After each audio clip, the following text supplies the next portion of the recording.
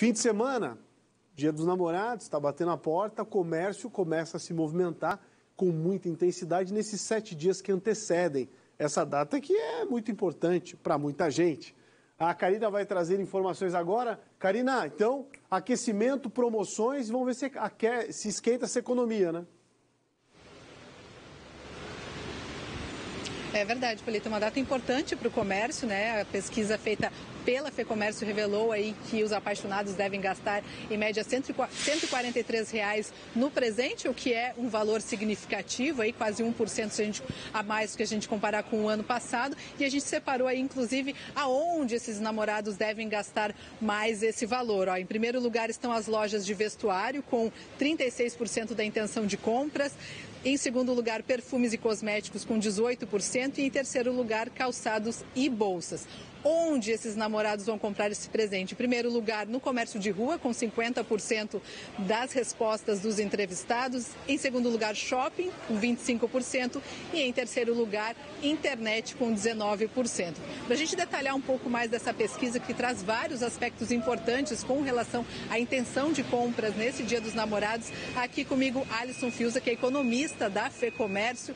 Alisson, a gente vê aí, primeira pergunta, uma coisa bastante importante, né? As pessoas voltando para as ruas, comércio com 50% da intenção de local de compra para o Dia dos Namorados, que é bastante significativo. Boa tarde para você. Boa tarde, boa tarde a todos. Realmente a pesquisa vem mostrando esse novo momento que nós estamos vivendo, momento que as famílias, os consumidores estão mais confiantes e, portanto, saindo mais às ruas. O comércio de rua, então, cresceu comparado ao ano passado, mas também outros aspectos da pesquisa mostrou que o consumidor também vai estar atento ao preço, fazendo pesquisa de preço e a maior parte deles vai fazer pesquisa de preço na rua. Esse é um outro aspecto que o consumidor está voltando às lojas físicas. Outro detalhe importante da pesquisa é que muitos pretendem pagar à vista, inclusive citando o Pix como uma forma de pagamento, o que também é um diferencial.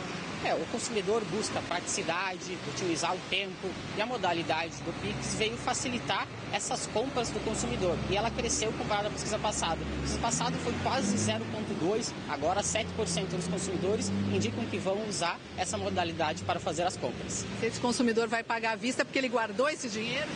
Um outro ponto importante, o nosso consumidor cidade catarinense é o consumidor que está planejando. Uh, um, uh, 20% dos consumidores indicaram que guardaram dinheiro para fazer as compras. Ou seja, de cada cinco consumidores, um deles está sendo planejador e guardando os recursos.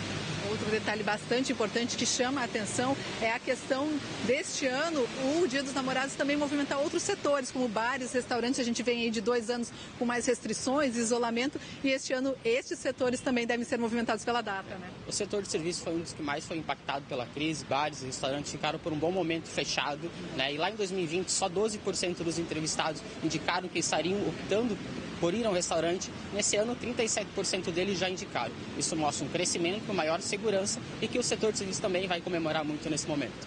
Uma data significativa que também mostra aí que aos poucos a economia está se retomando e as coisas estão voltando dentro da normalidade, né? Muito importante é a data que fecha o primeiro semestre. Ela mostra essa recuperação, esse ímpeto maior de fazer compras. Isso é importante para a economia catarinense que vai gerar emprego e renda para o nosso estado. Com certeza. Obrigada pelas informações, pela atenção ao vivo aqui no Balanço Geral. Só chama atenção aí para a última informação com relação a essa pesquisa. Olha só, Polito, 44% dos namorados devem deixar para comprar o presente, claro, de última hora durante essa semana. Por isso, essa semana deve ser de bastante movimento no comércio de rua, no comércio aqui da Grande Florianópolis, de todo o estado de Santa Catarina. Volto contigo aí no estúdio.